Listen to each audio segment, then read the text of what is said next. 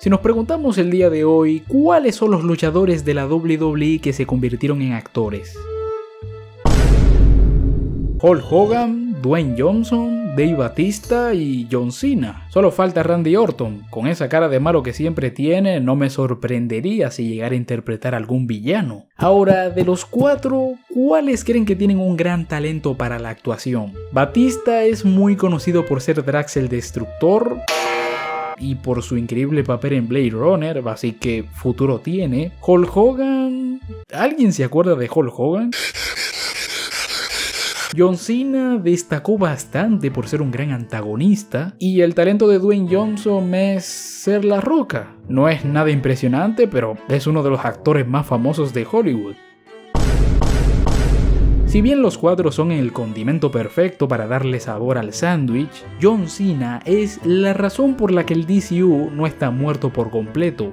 Y todo gracias a Peacemaker. Una de las cosas por la que Peacemaker salvó el universo de DC es por dos razones. La primera es porque James Gunn es un genio de la comedia. Técnicamente el universo estaba salvado hasta que llegaron estas cintas y reiniciaron todo el universo de nuevo. DC no ha tenido el mejor estado en estos últimos años. Mientras que Marvel ya había sacado los Vengadores, DC recién estaba empezando con Superman. Se tomaron cuatro años para por fin reunir el equipo. A esto sumémosle la falta de películas en solitario para algunos personajes. Aunque algunas películas del DCU han sido bien recibidas por los fans, la respuesta crítica en general ha sido mixta. Esto ha llevado a una sensación de que el DCU no ha alcanzado esos estándares de calidad que se esperan de una franquicia cinematográfica tan importante.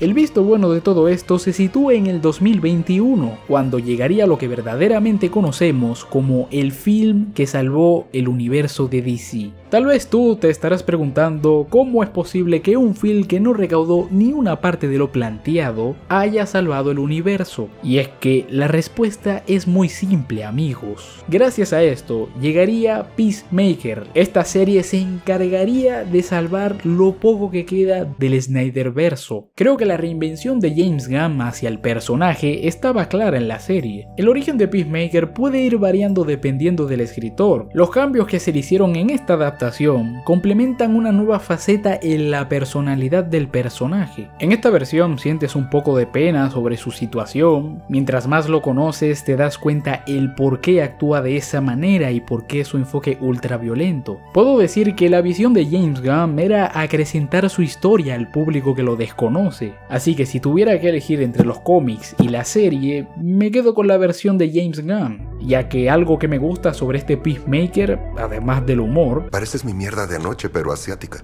Oh, es que se siente como un verdadero humano y no como un psicópata. En Suicide Squad, Peacemaker era un miembro del equipo de los antihéroes. A lo largo del desarrollo se nos presenta específicamente como un villano en la película. Y es que, si lo pensamos bien, el tipo es un fanático y le faltan dos tornillos en la cabeza. Aceptó hacer la misión para bajar su sentencia, pero también con tal de hacer todo lo necesario para lograr la paz. Incluso se implica traicionar a sus propios compañeros y matarlos. Por lo tanto, lo que agarró la audiencia fue un antagonista. Y es que no hay que rebuscar más en las gavetas, el personaje de por sí es muy complejo y a menudo se contradice él mismo. Puede ser un antihéroe, un villano o un héroe. Actúa en función de sus propios intereses y podría decirse que la violencia ha sido un elemento constante en el origen y la motivación de Peacemaker. El que haya visto la serie sabe que nadie se salta la intro. Haciendo este video a día de hoy me he visto la serie unas cuatro veces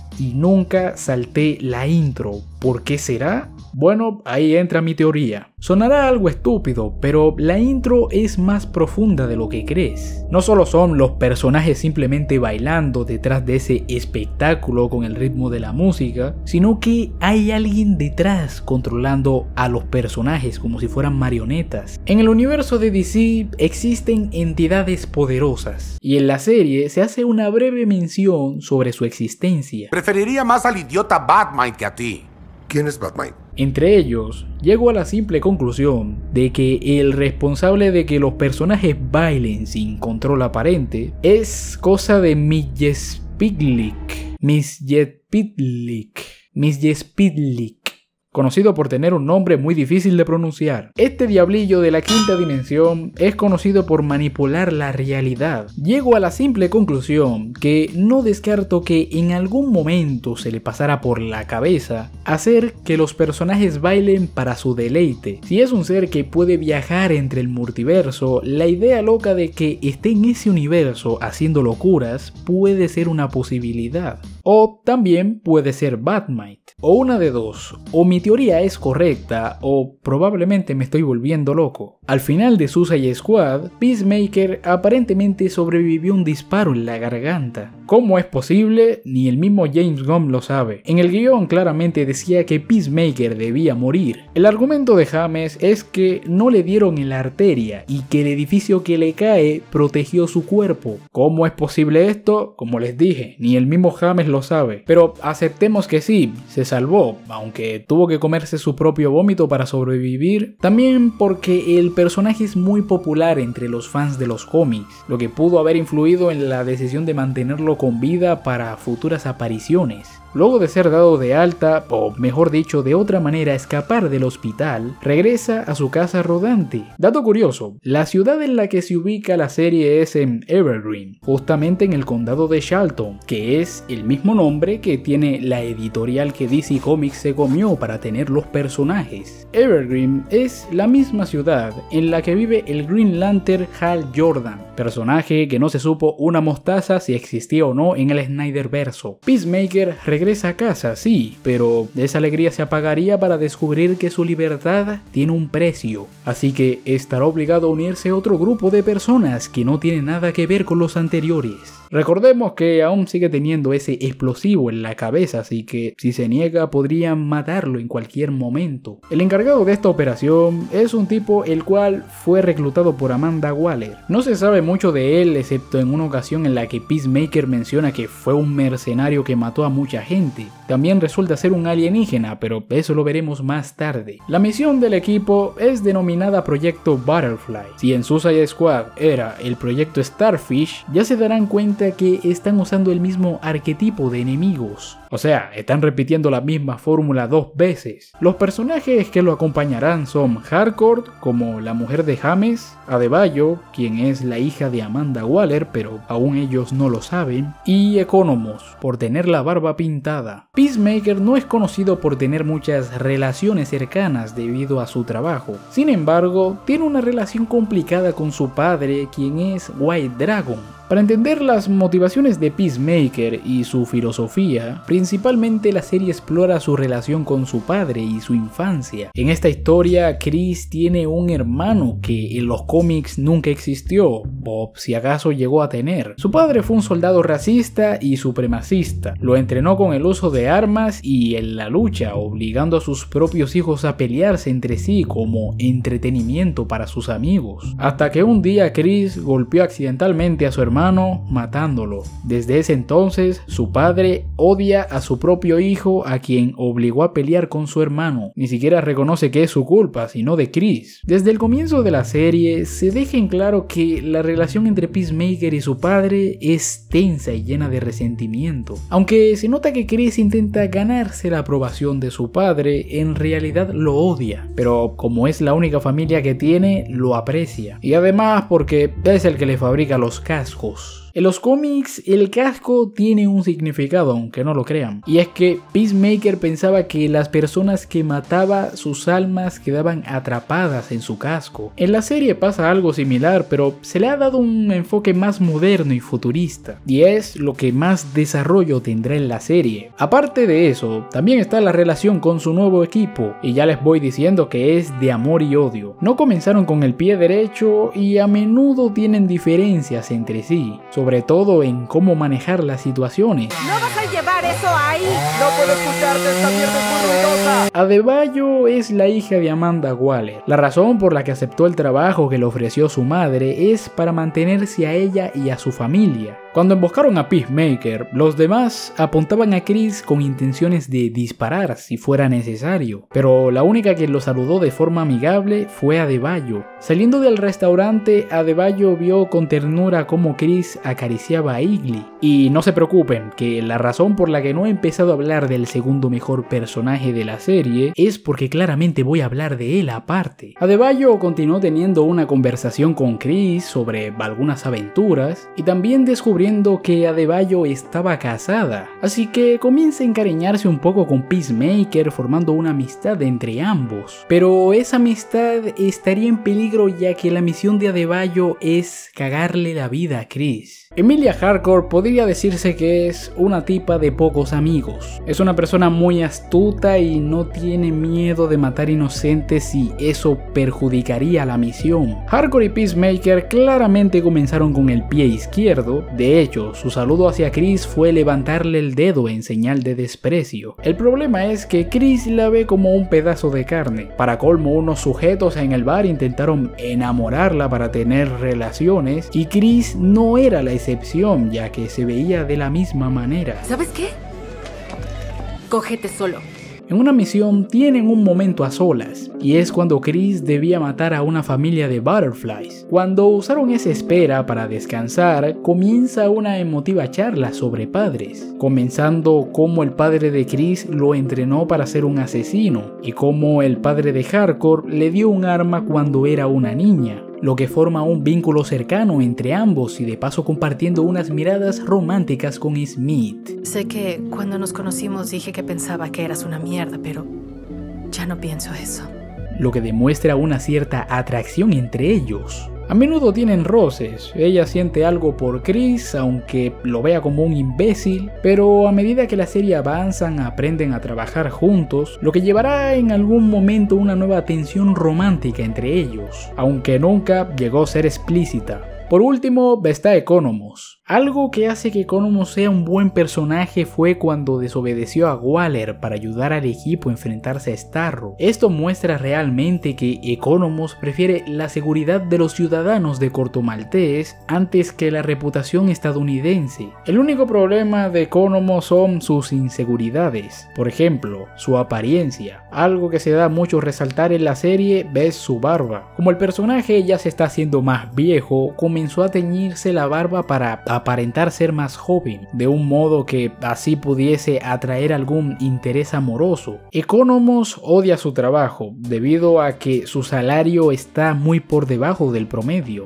Durante un tiempo se sintió cómodo con su nueva apariencia hasta que Peacemaker se burló de su barba. Me dices mentiroso. No, digo que eres un maldito patán. Sin embargo, Chris lo consideraba un gran compañero y un amigo. Claro que se burlaba de su barba, sí, pero eso no quita que tenían el mismo gusto por la música, algo que a Peace le pareció genial. Sin embargo, el primero en traicionar su confianza fue el mismo Economos, incriminando a su padre sobre los delitos que Chris cometió. Así que la mayor parte de los capítulos es Chris intimidándolo ¡Eres un asco en PowerPoint, barba pintada! y insultándolo. Escúchame, yo no quería meter a tu padre en prisión. Entonces, ¿por qué está ahí, gordo de mierda? Yo creo que Chris no estaba enojado porque mandaran a su padre a la cárcel. Creo que su ira con Economo se debe a que anteriormente le recordaron la verdad sobre su pasado. Aunque Chris no quiere aceptarlo, sabe que el lugar donde está su padre es lo mejor. Nunca sentí nada por ti, no como con tu hermano. A él sí lo amaba. Economo solo cumplió con su trabajo y hizo todo lo posible para encubrir a Peacemaker. Más tarde todo esto tiene sentido cuando se enfrenta con su padre, sacando todo lo que tenía guardado desde que era niño.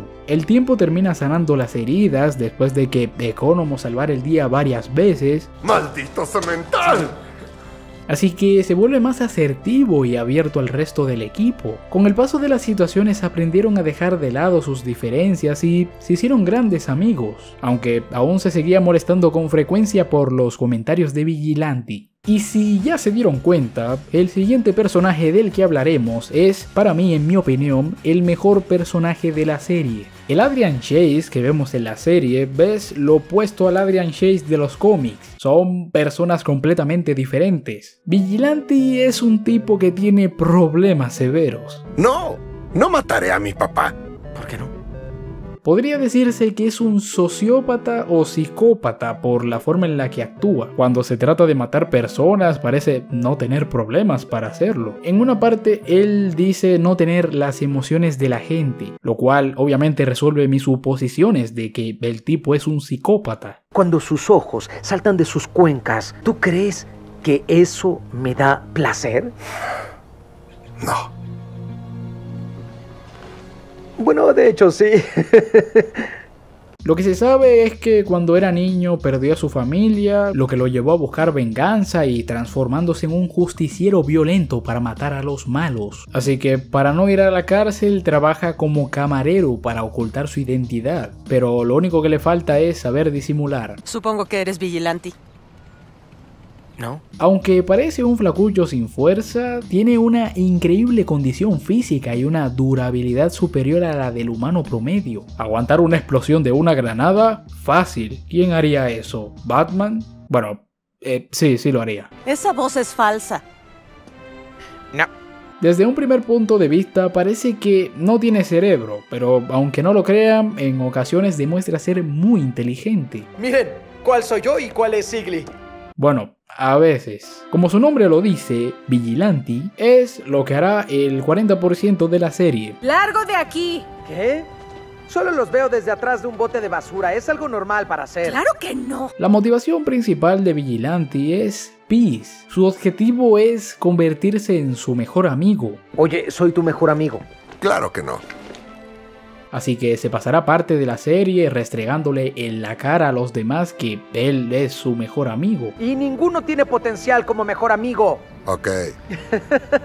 Él se convence de que Peacemaker es su mejor amigo, pero Chris no lo ve de esa manera. De hecho, Peacemaker se aprovecha de sus sentimientos. Todo eso se ve reflejado cuando un Butterfly los captura y planeaban torturarlos. ¡Al diablo! ¡Córtale todos los dedos! ¡No me importa!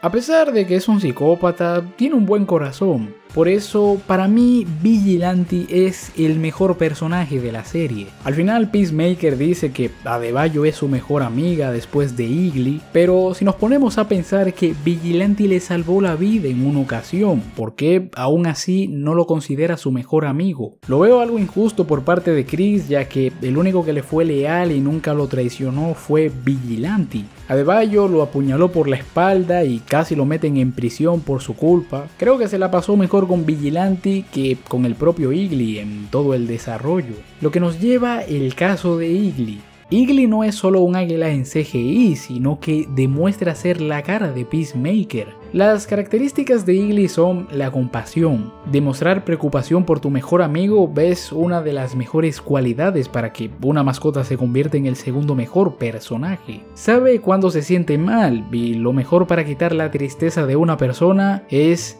darle roedores. Igly aparentemente fue entrenado por Peacemaker y así lo demostró arriesgando su vida para proteger a su mejor amigo, además de que puede entender el lenguaje de los humanos, más o menos, porque cuando Chris trató de decirle que pusiera el casco en la base del enemigo, no siguió nada de las órdenes de Chris, y justo se luce en su mejor momento donde su mejor amigo estaba en peligro. Intentó atacar a White Dragon, pero este lo golpeó a quemarropa que lo dejó gravemente herido. Chris rogaba desesperadamente para que su mejor amigo despertara y Igly lo hizo una vez más, abrazando nuevamente a su dueño, revitalizando así la motivación Smith para completar su misión. Después está Judomaster, es un tipo que siempre trae unos chetos picantes en la mano. Hombre grande y fuerte. Muy fuerte.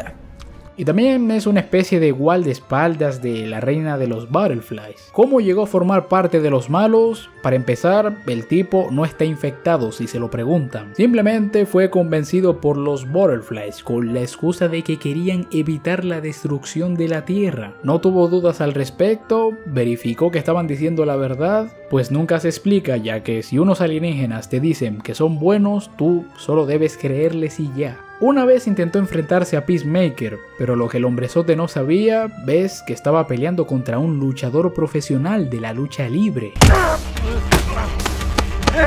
En ese momento, Judo Master se dio cuenta que aquella vez que le ganó fue por pura suerte gracias a la oscuridad, pero Peacemaker lo puso bien a parir.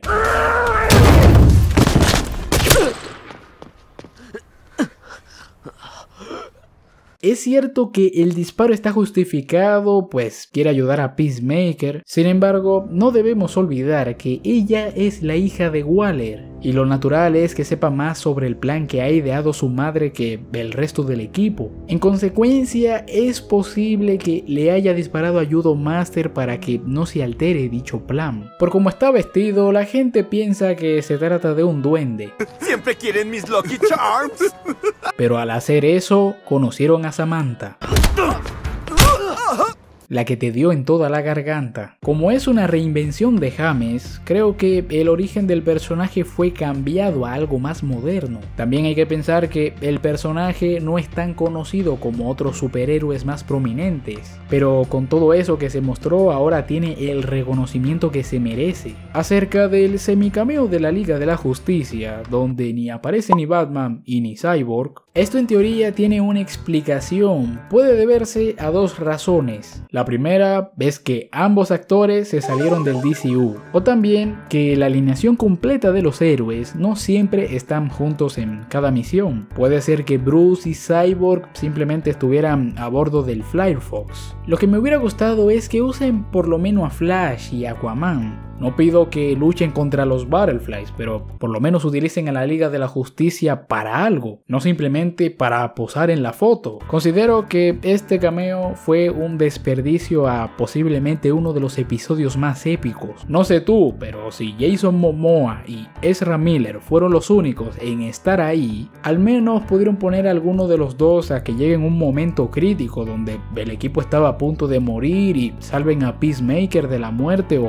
a Hardcore que estaba a punto de sucumbir, pero bueno, no todo en la vida se puede muchachos. Esta reseña no es para contarte la serie de principio a fin, creo que esto se disfruta más viéndola por uno mismo. La elección de John Cena como Peacemaker fue realmente muy acertada. Creo que no existe nadie mejor que hubiera interpretado a Vigilante como Freddy Stroma. Al ser un actor que no lo conocí más allá de alguna película de Harry Potter, se sintió como una cara nueva nunca antes vista. Fue como un poquito de aire fresco cuando se mostró su cara. Si bien la serie realmente no se toma muy en serio y hubieron algunas críticas respecto a eso, Peacemaker sigue siendo una visita obligatoria y posiblemente uno de los mejores espectáculos de la historia. Respecto a los enemigos, podría decirse que los Butterflies no eran enemigos del todo que querían dominar el planeta, sino querían utilizarlo como un nuevo hogar donde sobrevivir. Podría ser que existan hasta dos facciones distintas en el seno de estos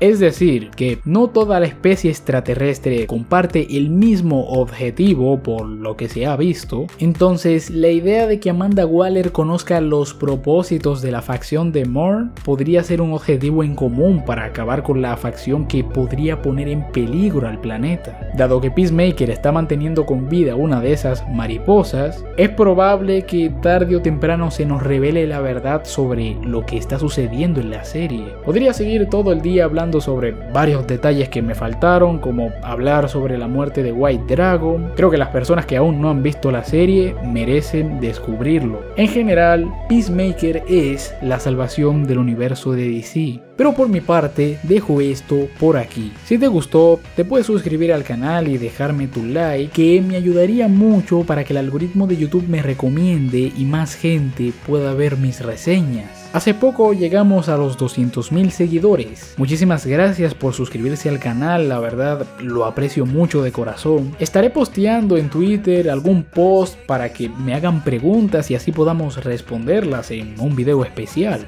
Así que ve rápido a mi Twitter y sígueme antes de que se te pase esa oportunidad. Así que nos vemos en el siguiente video. Bye bye.